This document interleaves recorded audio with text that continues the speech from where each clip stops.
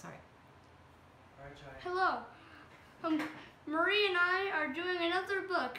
We just did Walter the Farting Dog 1. Now we're doing 2, Rough, we- rough Weather Ahead. Thank you, John. Marie's gonna read it, not me. Thanks, everybody. Welcome back to a book or two with you. Yes, Johnny's right. Rough weather ahead for And and if you know, then you have to go to Johnny Spooks to find the best quality, most quality Roblox videos. Yes, Johnny Spooks. That's Johnny Spooks.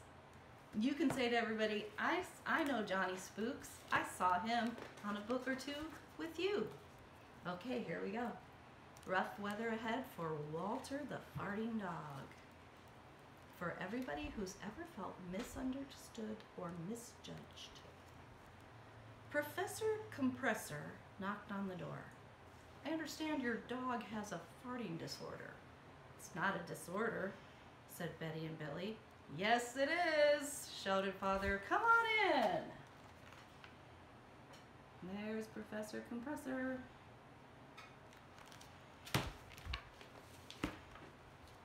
Professor Compressor said, I've made a lifelong study of animal gas. He examined Walter, gently poking around his stomach. You better be careful, said Father. He farts when you do that. Oh, he won't fart at me, will you, Walter?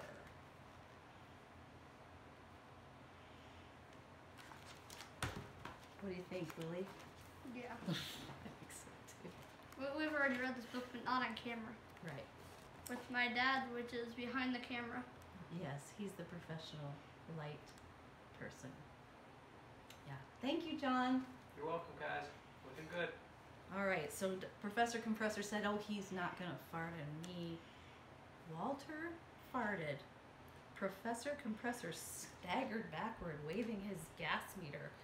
Ten point seven, the highest I've ever recorded. What a remarkable animal. Walter was pleased to be called remarkable. He liked Professor Compressor and licked his hand.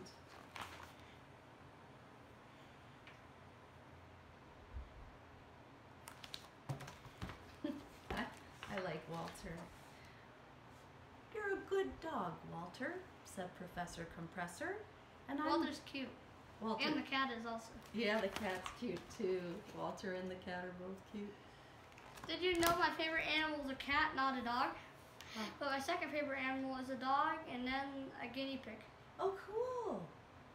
What's my your friend has a guinea pig, Yeah. Miles. Miles has a guinea pig. What's your favorite animal? Not you then. You can leave it in the comments. Yeah, leave in the comments what's your favorite animal. Great idea. Thanks, Johnny Spooks. Okay. You're a good dog, Professor Compressor said to Walter, and I'm going to help you. He poked around some more. It's his digestion that causes such powerful farts.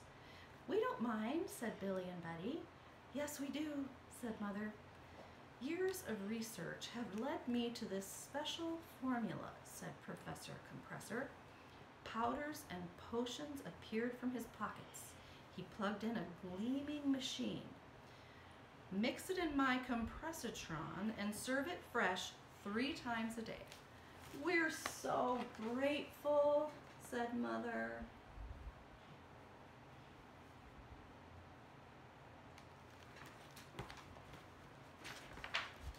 So three times a day, Mother mixed the special formula in the compressotron. His farts aren't as bad, said Billy hopefully. They're worse than ever, said Father. Your father is right, said Mother. That night, Father decided to mix the formula himself. He examined the powders carefully. More of this, he decided, less of this, and a lot more of that. Father sniffed the new mixture and smiled. That's better. Tastes pretty good, said Walter to himself, and ate it faithfully every day. It's working, cried Mother. The air smells so fresh. Hooray, said Betty. Walter was pleased too. Everyone was smiling. No one ran away when he came in the room. Father even hugged him. However, inside Walter, gas was building up slowly.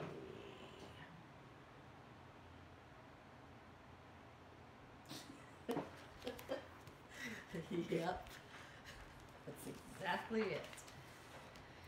That dog's getting fat, said father. But it wasn't fat, it was farts, waiting to be set free.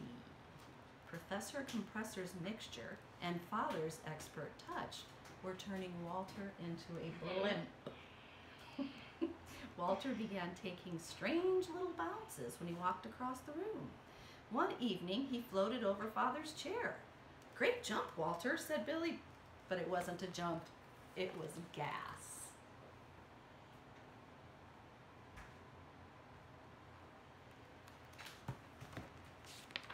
Floating like a balloon. The following evening, Bi- Billy and Betty were in their room doing homework. Billy, said Betty, look outside. Betty and Billy raced out of the house. Walter was floating over the trees. Walter, come down, cried Betty. But Walter couldn't come down.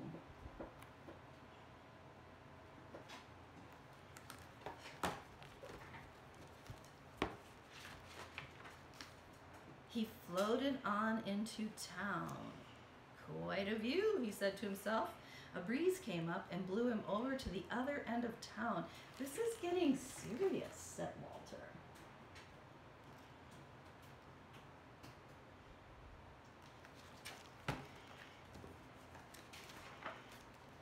He knew the problem was gas. He knew the solution was farting. He squeezed, he pressed his belly with his paws, he twisted into a knot nothing. He floated all night long. When morning came, he was high above the world. Mommy, said a little girl, look at that balloon. It's lost, said the girl's mother. It will never come back. Here's the mommy and the little girl.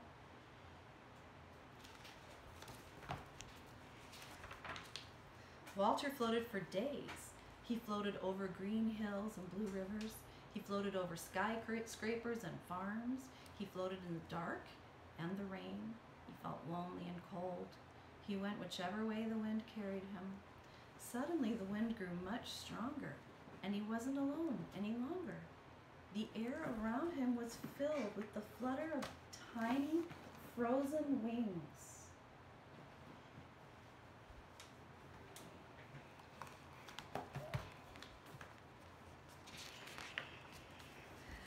Millions of butterflies were caught in a freezing windstorm.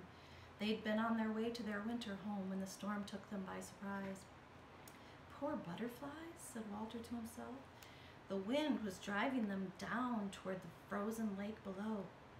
I've got to help them, thought Walter. He knew he had, had it in him. If he could just get it out. He grunted, he groaned, he pressed. He looked in their tiny insect faces. It was now or never.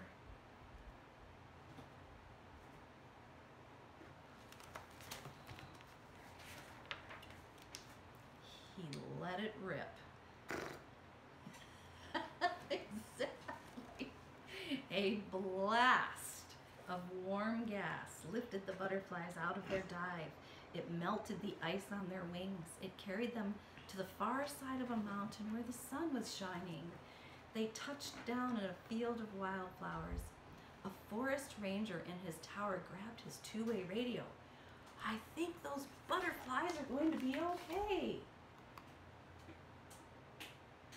Here's where they touched down the beautiful field.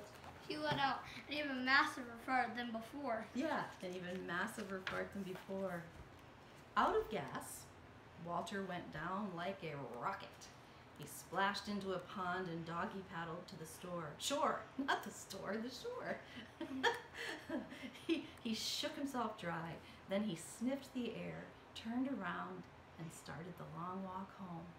He'd only gone a little way when the ranger pulled up in his jeep. Can I give you a lift, Wonder Dog?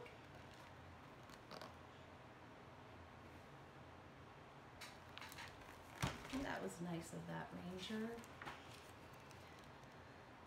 Somebody sent us a big package, said Mother, looking out the window. It's not a package, cried Billy. It's Walter. See, said Father, I told you he'd find his way home. Oh, Walter, said Betty, we're so glad you're back. Not half as glad as we are, said the delivery men.